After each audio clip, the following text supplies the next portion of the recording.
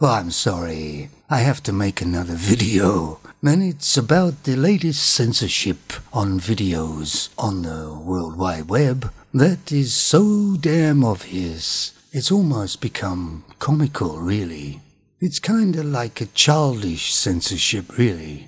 For instance, if I say something bad about a trumpet, well, you know who I mean, I hope, that would stay and it would be unaffected. But if I say something bad about a person, Paluski, well, you know who I mean, don't you?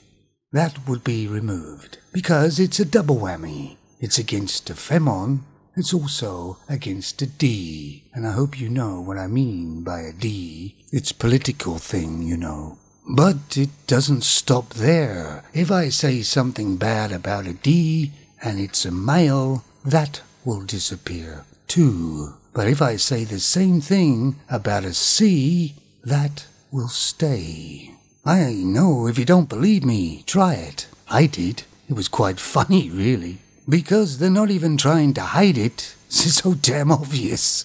Because if you say something that's not good or it's really bad, then it should be just bad for everything.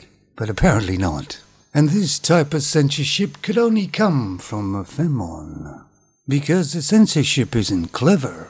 It's kind of childish. It's almost like somebody who doesn't want to hear something sticks their fingers in their ears.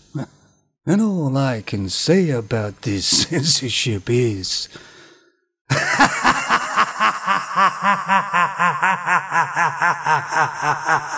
Igor!